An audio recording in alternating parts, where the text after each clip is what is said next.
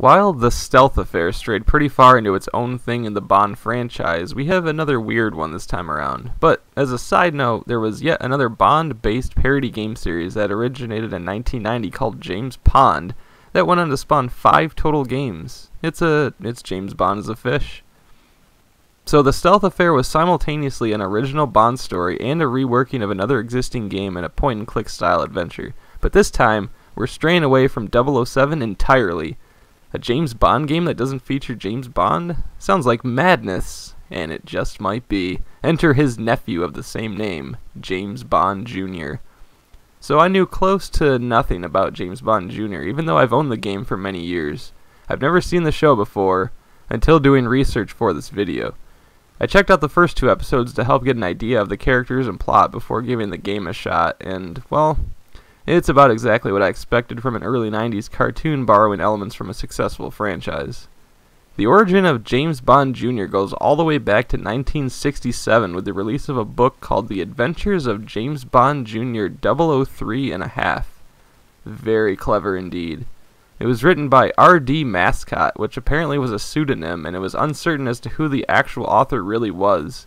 It was later discovered to be author Arthur Calder Marshall, Fast forward all the way to 1991 when it was developed into a children's cartoon show.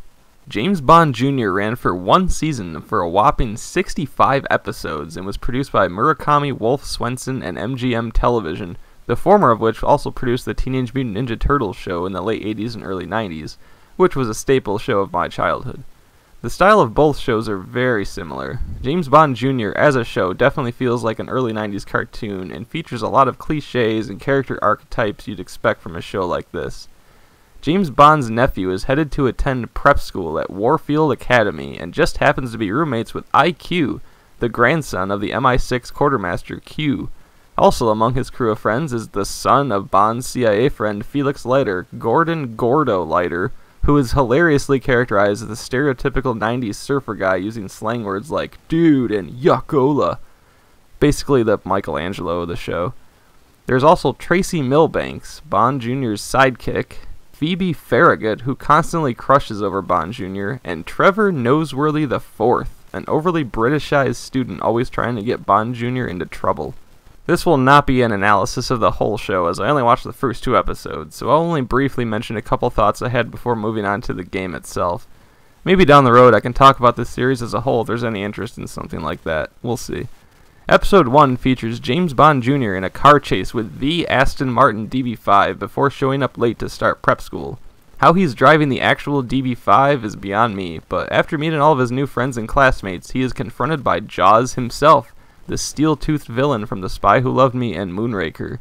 Jaws speaks now and is a typical dim-witted cartoon henchman taking orders from Scumlord, the leader of Scum, which is basically the Spectre of the show. Scumlord seemed more like Dr. Claw from Inspector Gadget, who is ironically a parody of Blofeld, Bond's main nemesis, than Blofeld himself. Scumlord is accompanied by a white dog named Scuzzball, a direct reference to Blofeld's white cat. Bond Jr. eventually stops Scumlord and Jaws, who ends the climax with the absolute most cliche line you could possibly think of for a show like this. You ready? Say it with me now. One, One day, day I'll get, get that Bond kid. kid. Episode 2 is called Earthcracker and has an interesting plot of the actual Goldfinger and Oddjob from Goldfinger trying to uncover El Dorado, the lost city of gold, in order to melt down the gold into gold bricks. It's definitely something ridiculous that Goldfinger would do, but there's only one problem. This is actually Goldfinger and Oddjob, not relatives of them like most of the other characters in the show. Both of them perished at the end of Goldfinger, but nah, whatever. It's a kid's show, taking place in an alternate universe. I can't look too much into it. I don't know what they were doing with Oddjob here, but while he still uses his bowler hat as a weapon, he's now sporting shades and a purple jumpsuit with gold bling around his neck. I gotta say, that was unexpected. Overall, I guess it's fine. A show like this is definitely of its time. It was probably a good introduction to the Bond franchise for some preteen kids. If you've ever seen the original Teenage Mutant Ninja Turtles cartoon, it's very similar to that, just with inserted past Bond characters and references. I wonder if I would have liked it as a child, since I didn't even care about James Bond until I first got into the GoldenEye game. The series ended in March of 1992, and while it spawned a toy line, board game, books, comic books, and a video game, it has since been lost in time without a DVD or streaming release. Perhaps it came out at the wrong time, since James Bond was pretty stale at this point, and it was more suited for older people who grew up with it in the 60s and 70s. However, yes, there was indeed a video game of the show released on June 20th, 1992. As stated in my last couple parts, the film franchise remained on hiatus until 1995, so the interest was probably pretty low at the time. James Bond Jr. was published by THQ, a video game publisher that originated in 1990 until they filed for bankruptcy in 2013.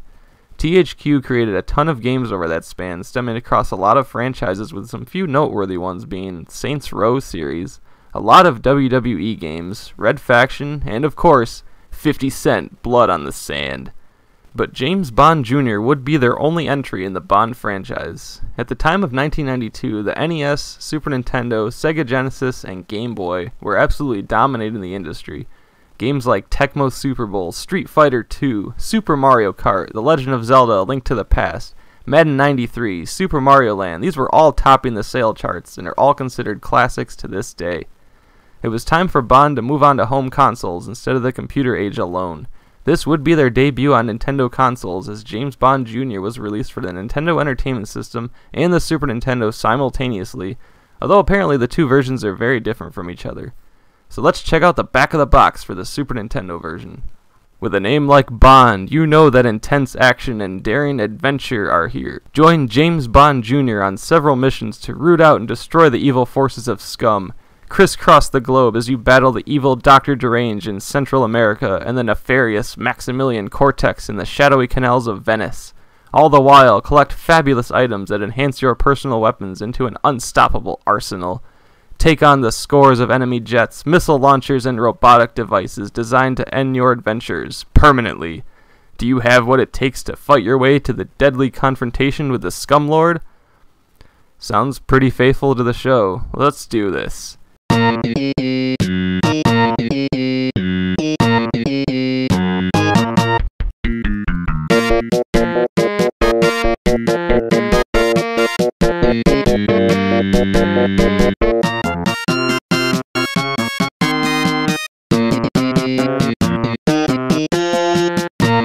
So the game starts with James Bond Jr. getting his assignment from IQ. Dr. Derange has stolen a priceless statue which can open a lost temple.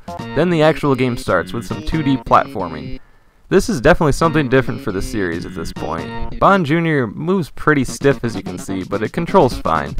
You collect some shoes, fight off one single enemy, and then it's over in about 15 seconds. Uh, right? Part 2 begins, and ah, here's something familiar, a vehicle stage. Bond Jr. is then inside this handy helicopter that has infinite bullets and bombs. What it does not have infinite of, though, is health, however, as running into anything or being shot once will instantly make the copter crash. The controls on it are actually pretty decent, though. If you're used to a Super Nintendo game and the controller, it will control exactly how you think it will.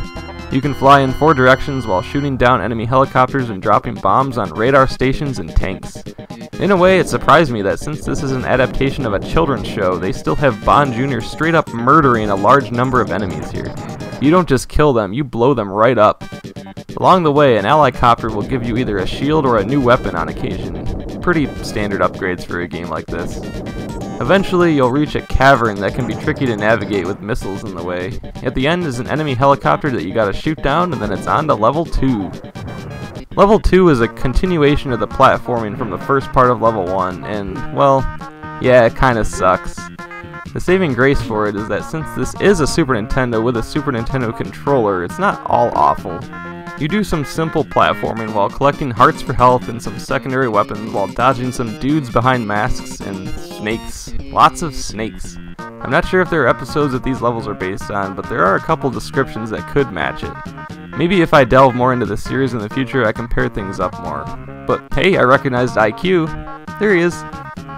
The rest of the game seems to alternate between platforming and driving levels, which is to be expected for a Bond-based game. It's just, it's fine. If you're a sucker for classic SNES style games like this, you'll get something out of it. But there are much better games of its kind out there. With that said, the controls are better than most of the Bond games that we've seen so far for sure. It only took playing as a relative of James Bond from a children's cartoon to get there. I say give it a whirl, uh, it can be a little challenging at times though. The NES version, however, is a completely different game. I can't believe that these were released simultaneously. It definitely looks and sounds like a standard NES game, but I mean, what is even happening here?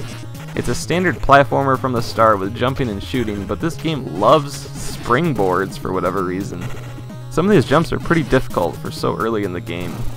Apparently, this version is more puzzle-based, but if you want cleaner platforming, let's just, uh, let's, let's say the Super Nintendo one seems to be the superior version here. So that about covers the James Bond Jr. chapter. It's interesting to see, although you could consider it not part of the James Bond series at the same time. I simply wanted to check it out as it's still part of the franchise's history. It has since been pretty forgotten, and I'll never know if I would have enjoyed the show when I was a kid or not. I was 5 and 6 years old when the show aired, but I never even heard of it until I started to learn about the Bond games way back when. But next time, we are most certainly going back to an actual James Bond game. They've kind of strayed off the path for a little bit here, but we have now approached the very end of the Domark era that all started back in 1985 with A View to a Kill. Five games later and eight years later, and we are at their sixth and final entry with their only game on a home console. Thanks again for sticking with me in this retrospective. Do not forget to like, subscribe, tell your friends, or whatever you feel like doing if you want to help out my channel. It's all very appreciated, seriously. James Bond will return in James Bond 007 The Duel.